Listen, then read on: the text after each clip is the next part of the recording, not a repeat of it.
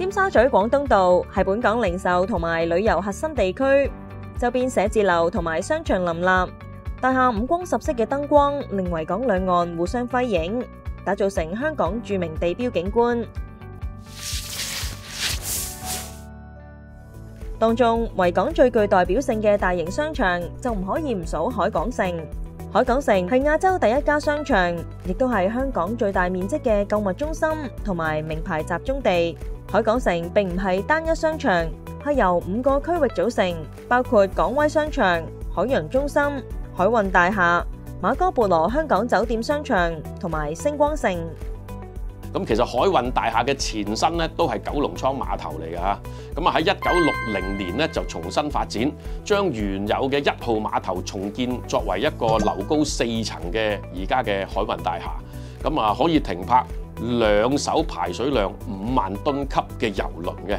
咁啊，商場裏邊亦都有一千二百個車位。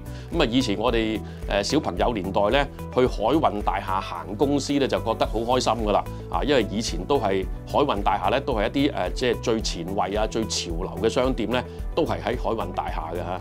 咁啊，亦都成個海運大廈都一路分段去誒擴建啦。咁啊，直至到最近期咧，誒去到尾段咧，都仲有 LCX 嗰個部分啊。咁啊，又有觀景台啊，亦都有啲表演場地啊咁樣嘅。咁啊，相當漂亮。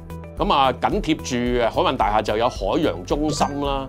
咁其實海洋中心咧就喺一九七七年落成嘅嚇。咁啊，接連咗成個海運大廈嘅商場部分啦。咁啊，令到佢嗰個購物同埋飲食娛樂嘅店鋪面積咧就大大增加咗。咁啊，加上咧喺九十年代咧，前身係幾棟服務式住宅啦，同埋海洋廊購物商場咧，亦都係重建。咁啊，重建咗之後咧，就係今日嘅 Gateway 啊嚇，即係而家港威大廈嗰部分。咁啊，港威大廈嘅規模發展相當之宏大嘅。咁啊，由五棟甲級寫字樓同埋四層嘅大型商場組成啊。咁啊，直至到一九九九年嘅十二月咧，成個港威大廈嘅工程诶先至係圓滿結束嘅吓。同樣坐落於尖沙咀維多利亞港海旁，同海運大廈同樣重要嘅標誌商業建築物就係星光行。咁星光行本身個位置咧，前身就係九龍倉碼頭嘅遊客中心啊。當其時就係由霍英東先生發展嘅啦。咁啊，發展咧就係成為一個大型嘅寫字樓啊，同埋商場群樓啊咁嘅。咁啊，早期嘅星光行咧就已經喺尖沙咀好出名噶啦。咁同埋國際上都幾有名氣啊。咁啊，如果大家上過星光行咧，就佢嘅誒正海景、中流海景嗰部分咧，而家嗰啲明信片都攞嗰個景觀咧，愛嚟製作明信片嘅嚇。咁啊，亦都誒即係商場部分都好多食肆啊、商店啊咁啦。咁啊，所以好多遊客啊或者本地嘅消費者咧，都中意去星光行咧，就去消閒啊、購物啊咁樣嘅。由於尖沙咀西一帶商廈處於核心命脈位置，所以極具商業價值，一直係財團同埋投資者必爭之地。歷年嚟唔少著名物業都升值唔少。從中原寫字樓部過往成交數據資料顯示，例如星光行十二樓一個單位，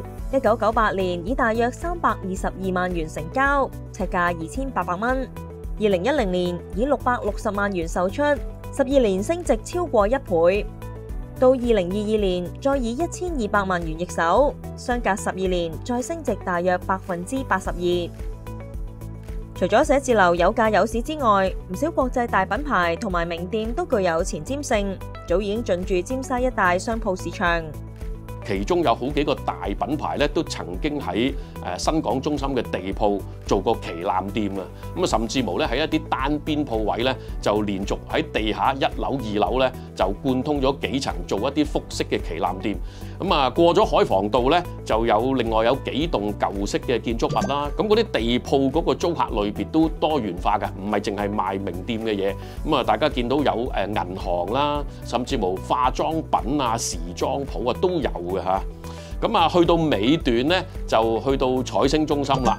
咁啊，大家就會發覺蘋果手機咧就攞咗呢個位置嚟嚟做一個旗艦店鋪啦，就由地庫去到三樓，咁啊挑通晒一啲玻璃幕牆，嗰度講有成三萬幾尺啊，即係望落去係相當相當宏偉啊嚇。由於鋪位市場盤源十分之罕有，大部分業主都好惜售，所以多年嚟少有放盤，而且物業嘅升值能力更加係十級以上。從中原鋪位部過往成交數據資料顯示，廣東道四至八號地下一個鋪位，業主持貨十四年，一轉售升值大約十二倍。又例如廣東道八十二至八十四號樓上方全棟，業主二零零二年以九千八百萬元買入，兩年後易手已經升值超過八成，下一手業主三年後再轉售，亦都再升值約七成半。從呢一區物業嘅升值能力，可以睇得出尖沙咀西优越嘅地理位置优势，经历得起时代嘅变迁。